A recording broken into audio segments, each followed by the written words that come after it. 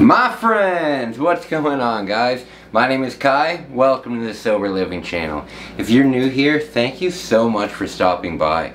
What I love to do on my channel is just give tips, hope, and advice to anybody out there struggling with an active addiction, letting them know that there is help, there is hope, and there definitely is a way to recover. My friends, I'm 381 days sober today. Thank you so much for joining me, man. I really appreciate it. So, guys, I have mentioned in the past that I absolutely love video games. I love video games. Uh, I think that they're a lot of fun, and I think that they are a fantastic um, distraction for when you are getting over an addiction, you know?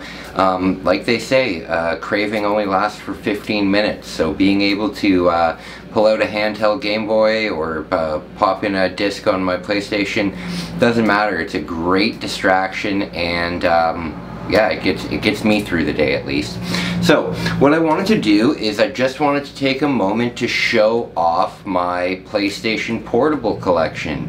So, um, when I was young, when I was the PlayStation Portable came out when I was 14 and I remember when it came out because um, I just thought it was the, the coolest thing in the world because I was getting to that age where I was 14 I was kind of getting over the Nintendo thing and I was I was you know becoming a young adult and I wanted to play these these really cool games. And I remember getting my first PSP with a game called Infected and Infected is a game where um, you're in New York City at Christmas time and there's a big zombie apocalypse and you're fighting all these zombies and it's a lot of fun. Uh, one of the bosses is a Santa Claus zombie. It, I, it, was just a lot of fun. I had fond memories of it. And then the other day I was on the buy and sell, like on the Facebook Marketplace, God, that thing is a curse, man. I'm on there way too much. But I was on the Facebook Marketplace and there was somebody selling a PSP or a PlayStation Portable um, and they were discounting it heavily because it was from Europe. It was a European uh, PSP. But it didn't bother me because I found out that the games were region free so it didn't matter. Uh, the only thing is the plug doesn't match the plugs we have here in Canada, so I had to buy an adapter for it. But other than that, it's been great. So I've been able to relive a lot of my old uh, childhood, uh, well I guess not childhood, young adulthood, um, and it's just so cool. It's just such a cool feeling. I remember when I was younger, here's my PSP here, um, I remember when I was younger, one of the features on this that was much different at the time was you could put music on this and then listen to it out of the speaker. And I remember being in high school and like going to these forest parties where we're all hanging out in the forest, drinking, doing drugs, all of that stupid stuff. Um, and I remember us all sitting around a PSP listening to music on it, even though the head, even though the quality of the music was just absolutely terrible. Um, but that's enough for my background. I just wanted to show you guys my collection. So, um, I have a whole bunch of loose games uh, that I'm not going to show here because I'm not going to show every loose game I have. But I've got games like um, God of War, I've got all of the Grand Theft Auto games, I've got um, the Burnout games, the Wipeout games. Um, those I have not in a case, but the games that I do have in a case I'll show you here. So um, the first one I'll show you is SOCOM. Uh, fun, you know, uh, marine game. It's pretty good for the PSP to be honest with you. Um, Killzone Liberation. It's much different than uh, the regular Killzone games, but uh, like regular Killzone games are first-person shooters. This is a top-down run and gun, uh, but it's a lot of fun, but it's hard as nails. I've only gotten to like the third level, and then I had to quit. So, couldn't do that anymore. Uh, Siphon Filter, Dark Mirror.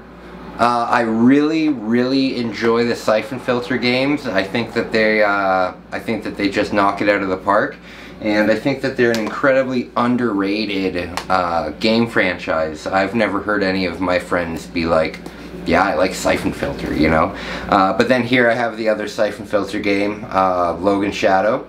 So, haven't played this yet, but I'm looking forward to it big time.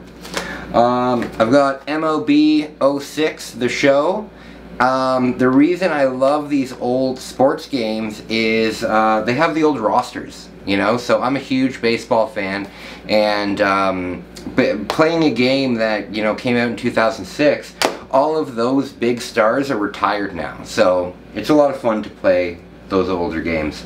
Uh, I got this game MediEvil Resurrection. Uh, it's the first remake of the, the MediEvil franchise, and I gotta tell you, I don't like it. I don't like it. I don't know why everybody rants and raves about the MediEvil franchise. I really don't like it.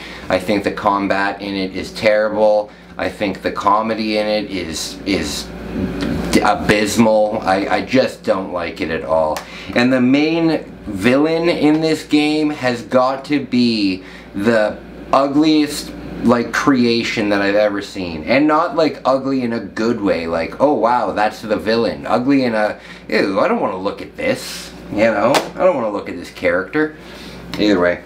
Um, another one, Ghost Recon 2. Um, I don't know if the glare is catching it, but Ghost Recon 2, uh, I really like army games. I really, but I don't like uh, first-person army games. I like third-person army games.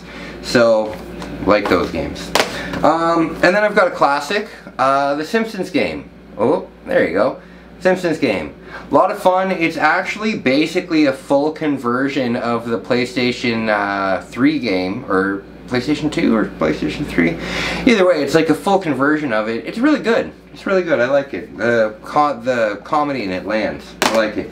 And then this one, this one hits home for me. This one hits home for me the most because I kind of was just in a mental hospital. The, the rehab center that I was in um, would technically be a mental hospital. And then I've got the game Manhunt 2. It's an ultra-violent game uh, where you're basically escaping um, an insane asylum where people have been doing experiments on you. I'm not too far into it, uh, but it's it's pretty damn cool. And being somebody who's been to a mental hospital, uh, to play a game set in a mental hospital where you're like escaping it and like fighting off all the, the nurses and doctors, it's definitely weird, you know? Um, but this one, hands, hands down my favorite game on the PSP, 100%. Um, so that's it really. Oh, there is one other thing that I wanted to show you because I have it out of the box right now. My sister bought me a gold N64. Uh, do I have it accessible to me here? Yeah, I do. Hold on, guys, one second.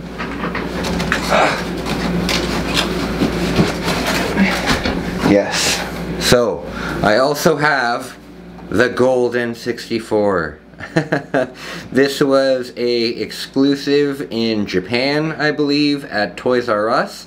And uh, when my sister bought this for me, uh, I don't think it was as expensive as it is now. It was still very expensive, but that's my kind of pride and joy, you know?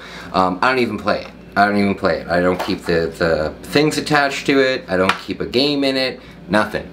This is my little video game pride and joy. Um, but I used to be a huge N64 collector, and um, I had a very large N64 collection. And unfortunately, when I got out of rehab, I just didn't have any money. I, I didn't have any money at all. Uh, so I ended up selling my entire N64 collection. I ended up keeping the the console itself because it was a gift and because it was because it, it's rare. Uh, but I ended up selling the rest of my collection and I got like $1,400 for it. So it was a big collection. Um, but I'll get into that another day. I just wanted to let you guys know um, video games really have helped me a lot. Um, video games are a fantastic way to stay sober because you get to lose yourself, um, especially if you're playing a role-playing game. Uh, I find that either role-playing games or puzzle games um, are absolutely the best for um, for getting over cravings and stuff like that because in a role-playing game you can lose yourself for hours in it you know? If, if you're worried about what you're going to do between the time that you get home from work and the time that you like fall asleep uh, play video games. It, it's a huge distraction.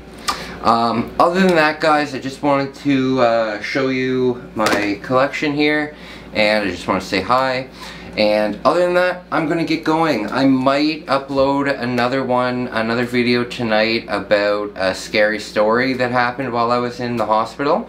Um, but we'll see how that goes. I'm not too sure. I've got a lot of cleaning up to do, and um, yeah, I've, I've just got housework to do. Alright guys, so wherever you are in the whole wide world, please be safe, please be sober. And you know, if you're not being sober, that's totally cool. That's totally fine. Just have a ride home, stay safe. Every single one of your friends wants you to wake up tomorrow and your parents love you very much. And your kids. Come on guys, you can do it, you can do it. Alright, uh, bye.